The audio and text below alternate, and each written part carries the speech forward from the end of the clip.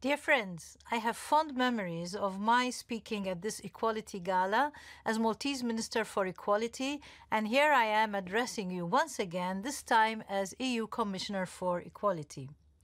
Pride Month means many different things to all of us, but it is always a celebration. And like tonight's gala, it is a celebration because it physically brings people together. Prides are extremely powerful, both for those who participate, but also for those who do not or cannot. As the late Harvey Milk said, rights are won only by those who make their voices heard. And when millions of people from the LGBTI plus community march together during the summer months each year, it is impossible not to hear.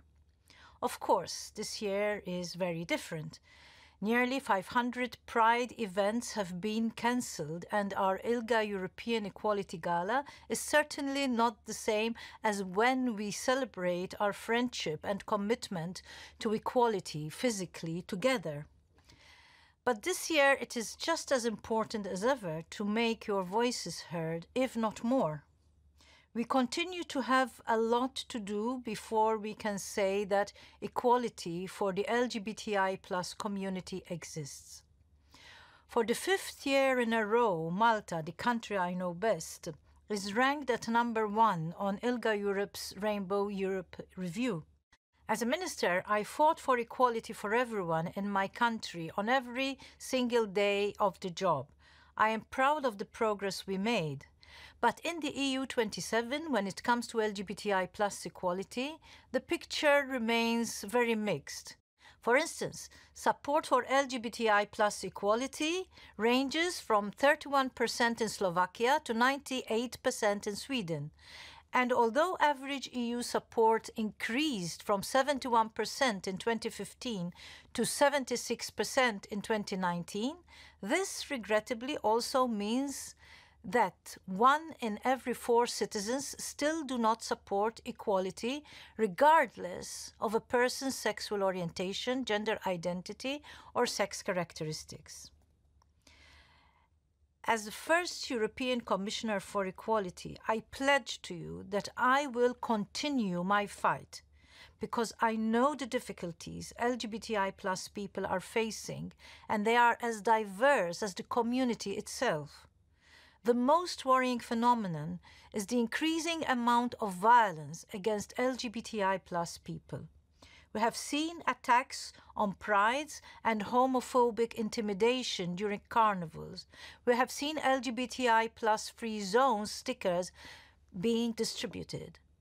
And we have seen the adoption of anti-LGBTI plus resolutions clearly aimed to intimidate and spread fear with populist slogans used at the cost of vulnerable minorities.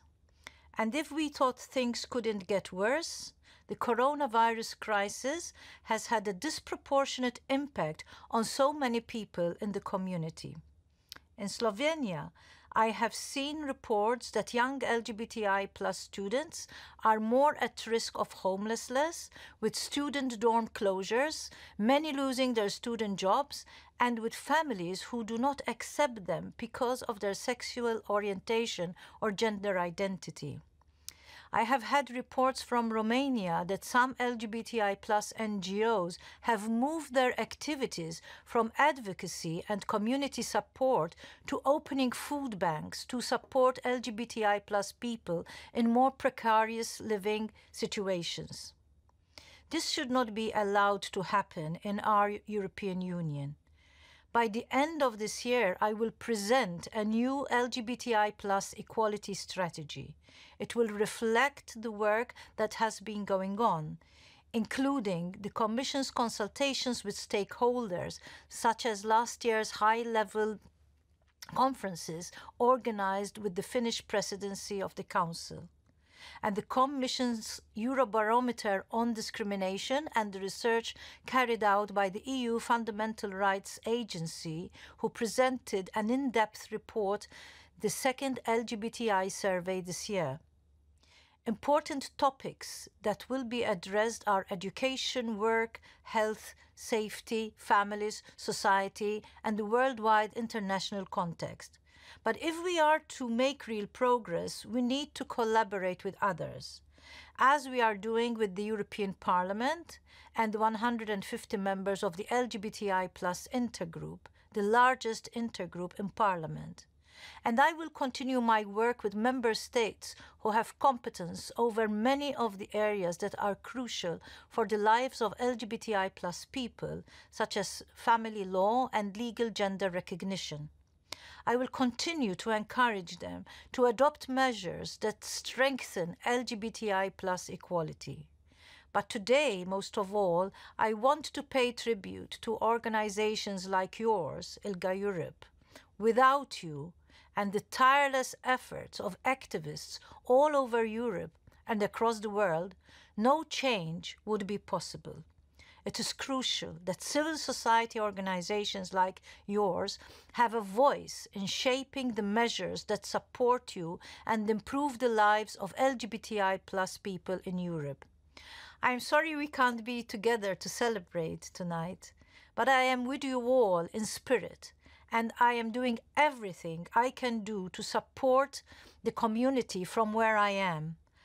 I am not able to see you, but I can still hear your voices loud and clear. Thank you.